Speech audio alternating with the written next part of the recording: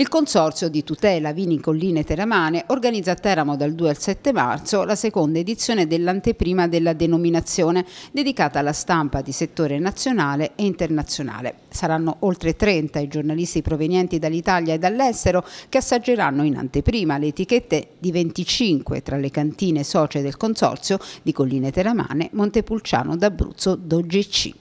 L'iniziativa ha scelto un titolo accattivante, The Cool on the Hills. È il momento in cui la stampa, gli appassionati, gli operatori eh, si interfacciano con i produttori per scoprire quali sono le annate nuove, più recenti e questa è anche eh, l'occasione che abbiamo eh, organizzato noi. Le caratteristiche del vostro vino quali sono?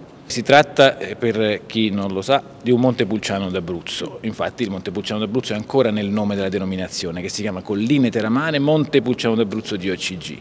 Quindi è una declinazione del vino che gli abruzzesi conoscono molto bene, che ha un grande carattere strutturale, una grande eh, capacità di eh, invecchiare negli anni e crescere nel, nel tempo.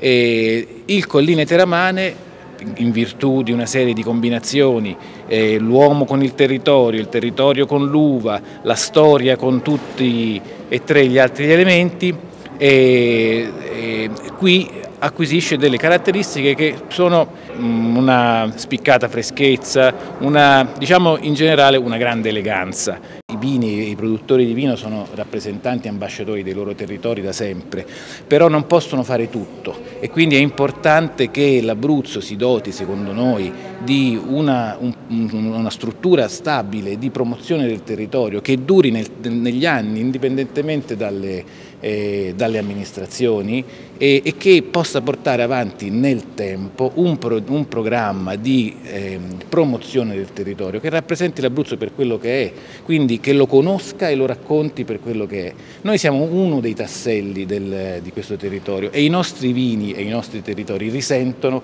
della percezione che all'esterno si ha del, del, nostro territorio. I giornalisti che parteciperanno all'anteprima dei vini di Colline Teramane saranno inoltre coinvolti in tre esperienze di conoscenza gastronomica del territorio tra tradizione e innovazione, tra cui un pranzo a cura degli allievi dell'Istituto Superiore di Poppa Rozzi che prepareranno una serie di assaggi tipici ispirati alla cucina teramana.